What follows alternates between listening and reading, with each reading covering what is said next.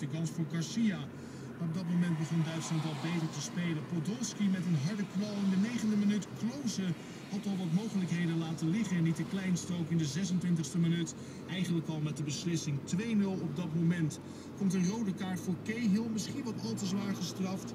Maar Australië is dan met zijn tienen tegen 11 Duitsers. Mullen en Kakao